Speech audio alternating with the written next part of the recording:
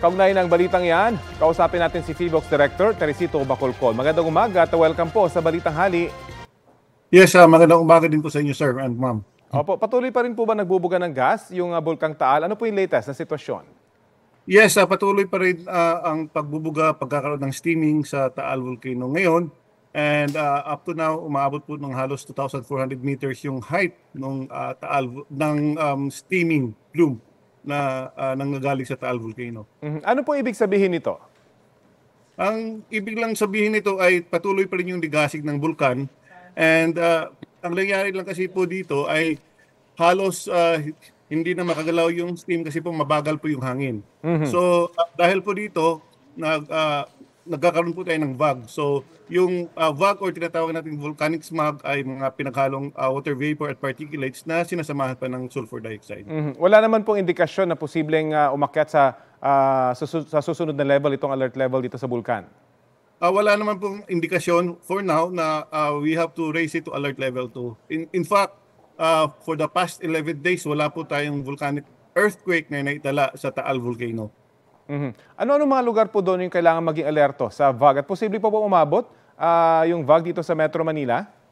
Well, depende po yan sa ihip ng hangin. Ang ah, kapag papuntang ah, north yung ah, hangin ay pwede po umabot sa Metro Manila.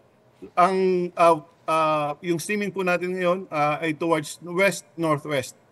Ah, ngayon, ang ah, ah, yes, ah, y- y- ah, yung mga areas po na affected ah, so far ay yung mga areas around ah, ah, Taal Volcano. Yung sa- karamihan dito ay nasa Batangas. Yung sa may Orel, Tuy, sa may Kalaka, ah, meron din sa San Luis, sa may Balayan, sa may Lemery, Talisay, Agoncillo, San Nicolas, Balete, Santa Teresita, Malvar, Alitagtag, Batangas City at saka sa Santo Tomas. Mhm.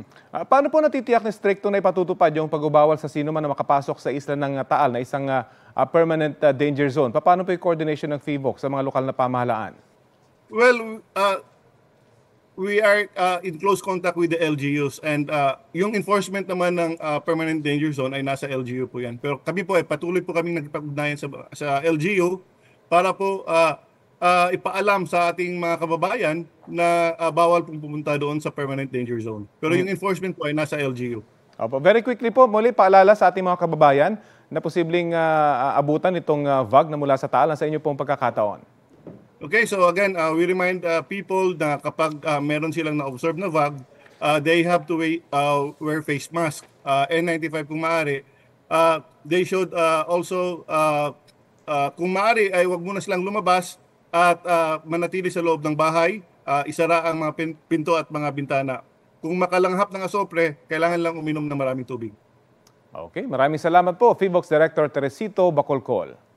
Maraming salamat din po.